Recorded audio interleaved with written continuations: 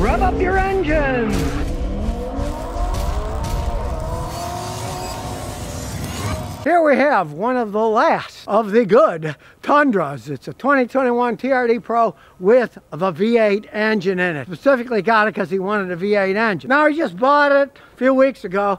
He did have to pay a little over 60. Yes, they're expensive, but this one was made in San Antonio and he found it in Texas and had it shipped to the East Coast. He wants something that's gonna last forever, right? Watch my videos, decided why not? I mean, I like the color too. It's a nice gunmetal gray color. Now, this is the TRD Pro, so this is a totally loaded Tundra. You can even see, look at this, Texas buyer.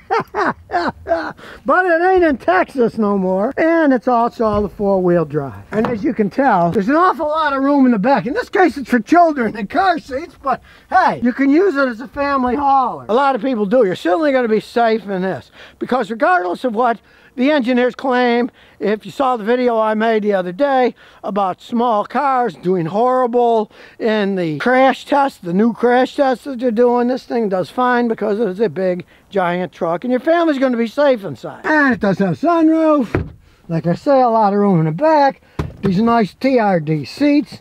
Very comfy. And it is four-wheel drive of course. It's not all-wheel drive. You can change you can go two-wheel drive four-wheel drive all the flick of a switch. Turn off. The dash looks cool so let's turn it on. So we're started up. Yeah it's push start. That's the way things are these days you can hear that V8 engine and you can see it's got a nice dash got a nice V8 rumble to it got a nice big camera and of course it's smooth as can be in gear you'd never know it's still got a nice big glove box People with pickup trucks want glove boxes. It's got a real emergency brake, not this electronic crap. Go under the hood. This is why people buy them. 5.7 liter. Timing chain, you don't have to think about anything. For the life of me, I don't know why Toyota decided to go to a V6 instead of a V8. People love these engines. They can run forever. They can tow forever. They're normally aspirated. They don't have turbochargers. Yes, they're gas hogs, but they're all gas hogs. And let me tell you something.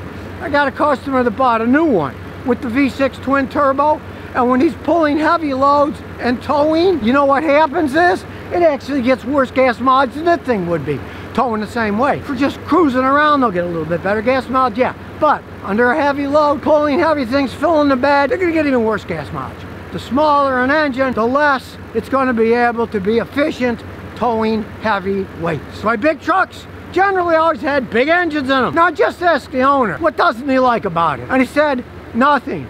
The three kids fit in the back.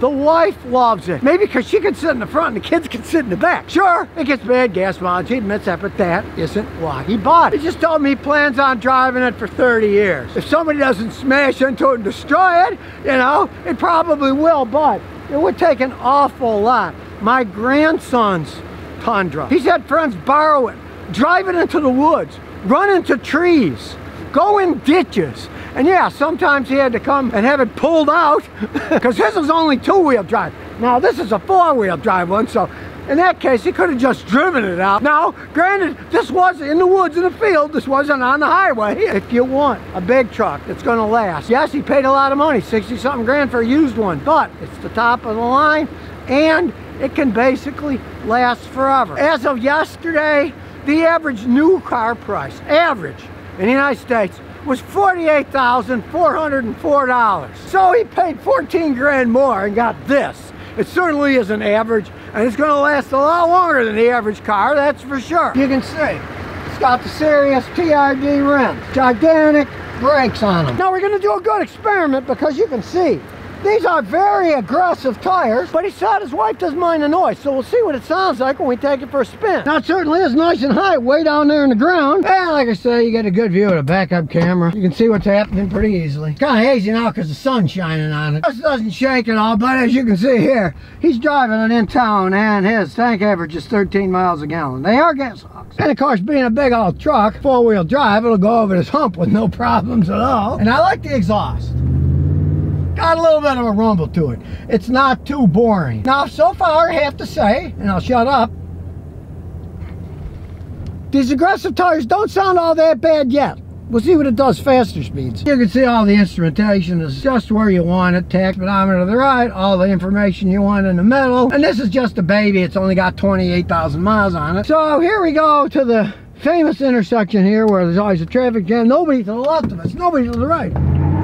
Yes, it does burn rubber. It has a serious engine. Let's face it, people want pickup trucks with V8 engines, and this engine does not disappoint. Not only does it have the power and the torque, but it lasts. I've seen these things having the heck beat out of them, and they're still going with 400,000 miles on them. And I do have to say, the tires don't sound that loud for as aggressive as they are. Fooled me, I thought they'd be noisy as could be being that aggressive, but they really aren't. As we take off again, Man, it just feels good, sounds good. Such a shame they only make them in V6s now. They just don't sound the same.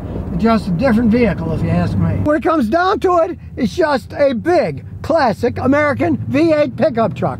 Now, yes, it's made by Toyota, but this particular one was made in San Antonio. It's a Texas pickup truck. The times indeed are changing, and as I slow down, look what's passing us. An old Ford pickup. Look at it. There's the past. This is the present. Not only was it made in San Antonio, Texas, but it came from Texas. Yet it shipped up here to Rhode Island. So, what do I think of this thing? It's a phenomenal pickup truck.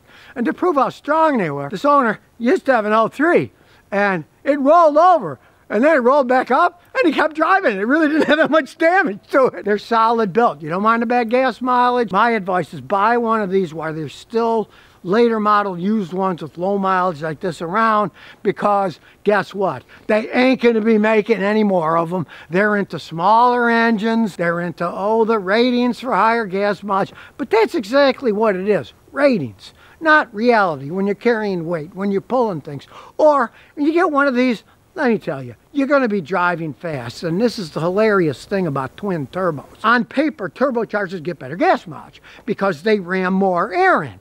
But that is if you're driving 30 miles an hour. Generally, when you have twin turbos, you step on the gas a lot, the turbos spool up, the engine revs up, air goes in, and your gas mileage goes right down the toilet. So unless going to church 30 miles an hour, the V6 twin turbo is not going to give you phenomenal gas mileage. I've seen them in the real world. They don't tow and get phenomenal gas mileage. People that drive them hard don't get phenomenal gas mileage. They're big, heavy trucks. It takes energy to push a heavy truck. You want a heavy truck that's going to last? Hey, get one of these. It'll be around for a long time when all the imitators are gone. Eh, I would put dollars to donuts. Who knows? I might not be around 30 years from now, but if I am, I put dollars to donuts that this sucker will still be running. And a bunch of the twin turbos will be in junkyard land with blown engines, blown turbos, where this thing will still be motoring down the road. And here's some bonus questions and answers. Death Metal Junkie 420 says, What first car should I buy? I'm looking at a 2009 to 11 Hyundai Genesis 3.8, 290 horsepower, Aisin 6-speed automatic, or a 2009 to 13 Mazda 6S Touring Plus 3.7 V6 with 272 horsepower and an Aisin 6-speed automatic. I definitely go for the Mazda. The Mazdas are much better made than they used to be. The problem with the Genesis are they are zippy, they're fun to drive, but they're made by Hyundai their cars don't hold up over time. And it's going to be your first car. Do you really want a car that's going to fall apart and cost you a fortune to fix? Where the Mazda, hey, the parts are going to be cheaper for the Mazda because the Genesis is the top of the line. So they charge more money for the parts. And the Mazda is just a regular car. But truthfully, I would definitely get the Mazda, especially as a first car. It's going to last more. It's going to cost less to fix. I personally would get a Toyota myself. But if you like the Mazda, go get it. Third says, I want to replace the rear spark plugs on my 2003 RX 300. I changed the front three, but I can't get to the back. My mechanic won't do it because he says he's going to pull half the car apart. Unfortunately, he got a 2003 RX 300.